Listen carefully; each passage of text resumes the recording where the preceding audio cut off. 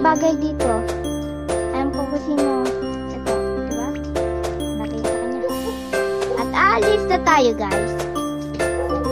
Pupunta na tayo doon sa may elevator dahil may elevator.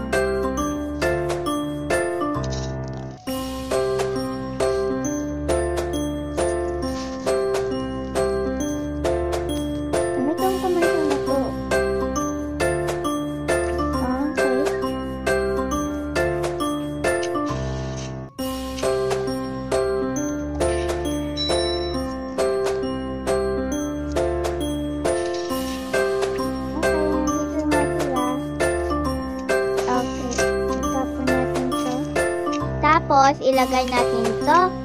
Tapos, itong bag niya, ilagay natin dyan. Sa kanya naman, dito. Sa kanya naman, dito. At pwede na natin isarado.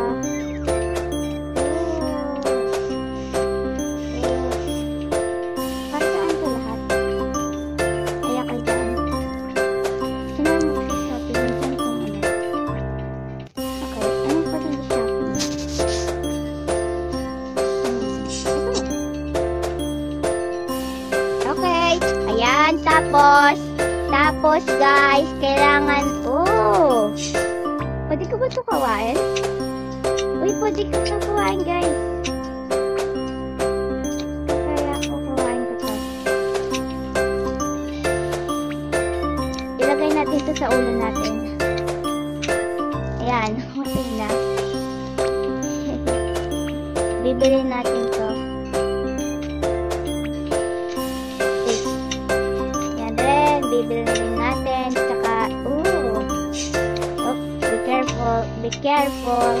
Yan. Binili natin yun. Tapos, um, no? Ayun, may nahanap rin. Itong lollipop na to, itong lollipop na to, at itong lollipop na to. Okay, ilagay natin yan dito.